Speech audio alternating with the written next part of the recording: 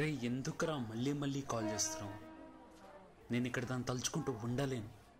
రోజు అలా బాధపడుతూ నా వల్ల కాదు. ఇలాగే ఉంటే దానిపై కోపము తగ్గదు నాలోని బాధ తగ్గదు.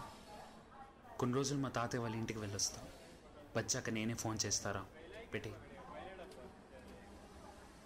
గుండెల్లో నిండిన కోపంతో పాటు బాధతో కళ్ళల్లో నీరుతో పరిసరాలను పట్టించుకోకుండా ఆవేశంగా నడుచుకుంటూ ట్రైన్ ఎక్కేశాను. నా ఎదురు సీట్లో బరువుతో ఉన్న బ్యాగ్ని ఉంచి నేను కూర్చున్నాను. ఆగి ఉన్న ట్రైన్ కదిలితే తప్ప నాకు ప్రశాంతంగా అనిపించలేదు. ఎలాంటి ఆలోచనలు లేకుండా అలా కిటికీపై తలవాల్చి పడుకుని ఉన్నా. ఇంతలో ఒక పిలుపు వినపడింది.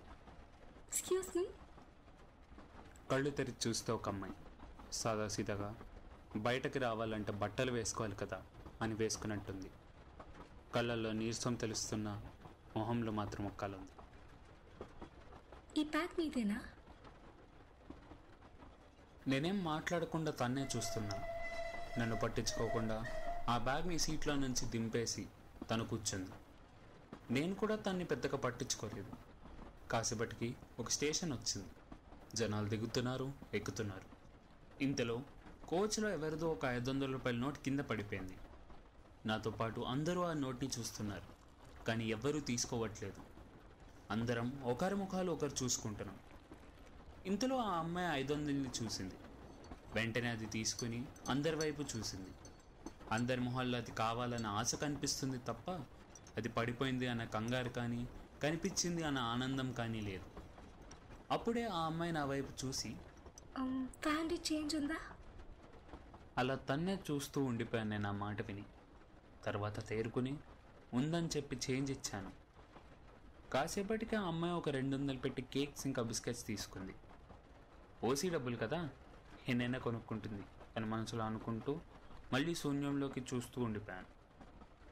ఇంతలో కొంతమంది అడుక్కునే వాళ్ళు వచ్చారు. అందరూ చిల్లరిస్తుంటే ఆ అమ్మాయి మాత్రం ఒక వంద రూపాయల నోట్ తీసిచ్చింది.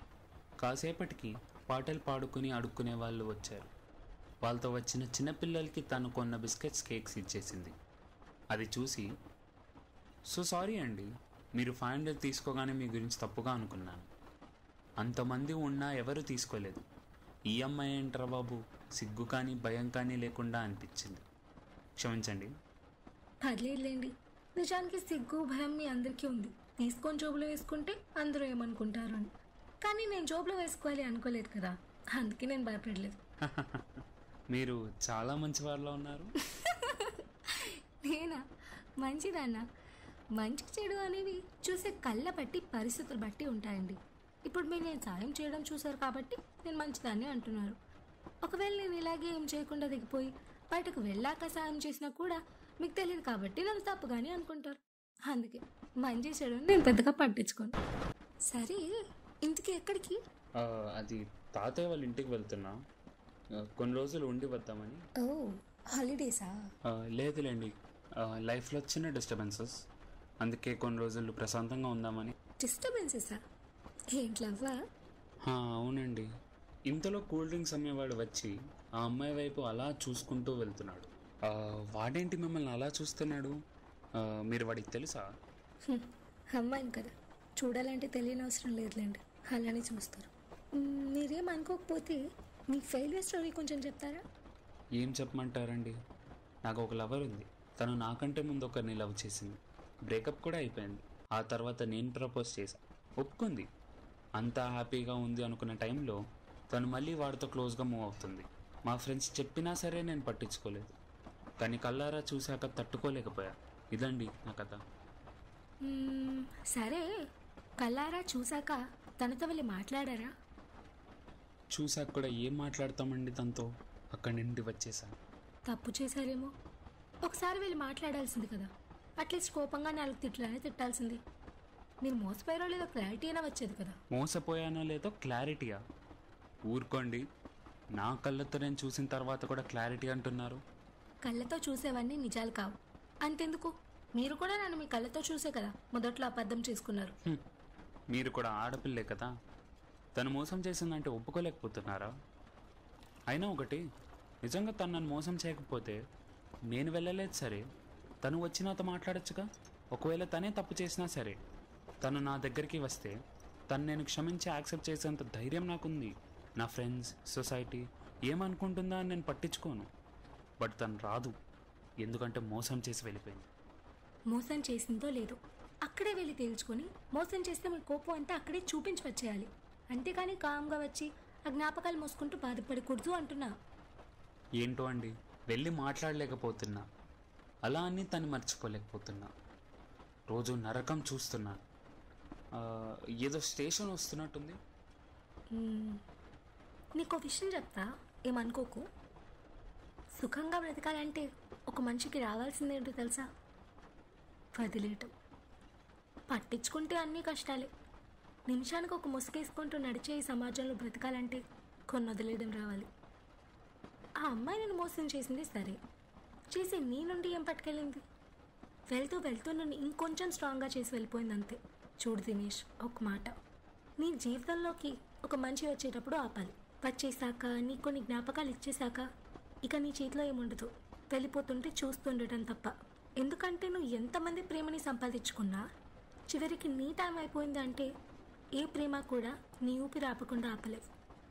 అలాగే నీతో తన టైం అయిపోయింది అనుకో ఏంటి ఇంత చిన్న వయసులోనే చాలా స్ట్రాంగ్గా మరి మెచ్యూర్గా మాట్లాడుతున్నారు? ఎవరు నేర్పారు ఇవన్నీ మీకు? మనుషులు. అయినా మెచ్యూరిటీ అనేది ఎంత వయసుందో అనే దాన్ని బట్టి కాదు. ఎన్ని అనుభవించామో అనే దాన్ని బట్టి వస్తుంది. అంటే మీరు జీవితంలో చాలా అనుభవించాలని అంటారు ఏమో. కానీ ఒక్కటి నమ్ముతా. అనుభవం నుంచి వచ్చిన మాటలు చాలా బలంగానే ఉంటాయి. బహుశా అందుకే ఏమో మీకు నేను స్ట్రాంగ్గా కనిపిస్తున్నాను. మీరు చెప్పేది వినడానికి బాగానే ఉంటుంది. బట్ వాటితో ఈ సొసైటీలో బ్రతకాలంటే చాలా కష్టం. ఏ సమాజం గురించా నువ్వు మాట్లాడుతున్నావు. నీతో అవసరం ఉంటే నువ్వు చేసేది తప్పైనా అది చెప్పడానికి జంకుతారు. అదే నీతో అవసరం లేకపోతే నువ్వు చేసే ప్రతి పనిలోని తప్పులు వెతుకుతారు. వీళ్ళ గురించి అసలు పట్టించుకోకు. మీకు ఇలానే ఉంటుందిలేండి. ఆరు నెలలు తన వెంట పిచ్చోడ్లా తిరిగాను. అడిగి అడిగి అలిసిపోతే పుట్టిన ప్రేమ అది. ఆ మాత్రం బాధ ఉండదా? ఏంటి? తిరిగి తిరిగి అడిగి అడిగి అలసిపోయావా? అడిగితేనో బ్రతిమలాడితేనో పుట్టేది జాలి. ప్రేమ కాదు. అంతే ఆ మాటకు నా గొంతు మూగబడిపోయింది. కాసేపు ఇద్దరు మాట్లాడుకోలేదు. ఇంతలో ఇంకో స్టేషన్ వచ్చింది. ట్రైన్ ఆగంగానే తను లేచి వెళ్ళడానికి సిద్ధమవుతుంది. ఏంటి వెళ్ళిపోతున్నారా? అవును నా స్టేషన్ వచ్చేసింది. వెళ్ళిపోవాలి. సరే it was nice talking to అండి మీతో మాట్లాడాక మనసుకు చాలా తేలిగ్గా అనిపించింది. Thank you for that and ఎలా చెప్పాలో తెలియని ఫీలింగ్ కలుగుతుంది. అది సరే దినేష్ వెళ్తున్నా. దినేష్ ఒక్క మాట. నీ లైఫ్లోకి ఎవరినైనా తెచ్చుకోవాలి అన్నప్పుడు వాళ్ళని గట్టిగా పట్టుకో. ఎంత గట్టిగా అంటే వాళ్ళు చేసిన తప్పులన్నీ క్షమించేంత గట్టిగా. మళ్ళీ చెప్తున్నా.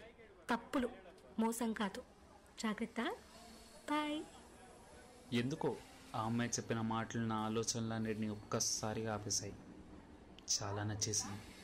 తను లేచి ట్రైన్ దిగేలోపు నాలో ఎన్నో ప్రశ్నలు ఎన్నో భయాలు ఎన్నో ఆలోచనలు. గుండె నిండా ఏదో తెలియని ఒక బరువు మోస్తున్న ఫీలింగ్. ఎలా అయినా అమ్మాయితో మాట్లాడాలని సీట్ నుండి లేచి పరిగెత్తాను. ఆ కంగారులో ఇందాక వచ్చిన కూల్ డ్రింక్స్ అమ్మేవాడిని గుర్తేశాను ఏంటి సార్? అంత స్పీడ్గా వెళ్తున్నాం కొంచెం చూసుకుని వెళ్ళు. అది ఆ ఆ అమ్మాయి వెళ్ళిపోతుంది తను. ఎవరు? ఇన్సే మీ పక్కన కూర్చున్నమ్మాయా?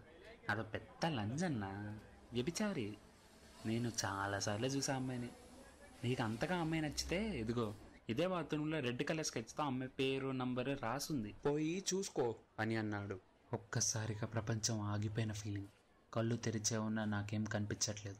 ఆ అమ్మాయి ఫేస్ అలా మైండ్లో కనిపిస్తుంది అంతే ఈ విషయాన్ని ఎలా తీసుకోవాలో కూడా అర్థం కావట్లేదు.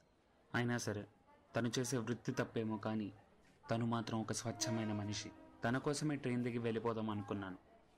కానీ ఒక్కసారిగా చుట్టూ ఉన్న జనం అదే మన సమాజం అది గుర్తొచ్చింది.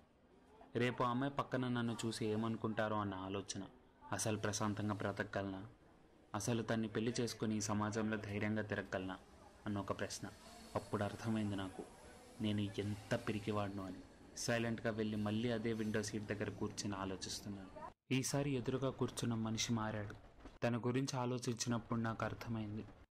మన చుట్టూ ఉన్న సమాజం ఒక మనిషికి ధైర్యం కన్నా భయమే ఎక్కువ ఇస్తుంది నచ్చిన పని చేయాలన్నా నచ్చినట్టు ఉండాలన్నా ఎంత కష్టపడాలో అని. కదులుతున్న ట్రైన్ కిటికీలో నుండి తను వెళ్ళిపోవడం చూస్తుంటే ఒక స్వచ్ఛమైన పావరంతో కలిసి ఉండే ధైర్యం లేక నాకు తెలిసిన ఈ రాబందుల సమాజంలో తలదించుకుంటూ భుజాలు వంచుకుంటూ సాగిపోతున్నట్టు అనిపించింది. ఎందుకో తన పేరు తెలుసుకోవాలనిపించింది. ఆ వాష్రూమ్ దగ్గరికి వెళ్ళి అలా డోర్ ఓపెన్ చేశా. ఎర్రటి రంగుతో తన పేరు ఇంకా నంబర్ రాసి ఉంది. ఒక్కసారి దాన్ని అలా తడుముతూ ఇలాంటి అమ్మాయిలు ఇంకా ఎంతమంది ఉన్నారో? అనిపించింది. వెంటనే ఆ పేరు మరియు నంబర్ని చెరిపేశాను. ఏదో ఒక చిన్న సాటిస్ఫాక్షన్. దాంతో బయటికి వచ్చి నా సీట్లో వెళ్ళి కూర్చున్నా. బ్యాగ్ని తీసి పట్టుకొని తన ఆలోచనలు మునిగిపోయాను ఈసారి బ్యాగ్ కొంచెం తేలిగ్గా అనిపించింది. ఇంతకీ తన పేరు చెప్పలేదు కదూ? లీలా.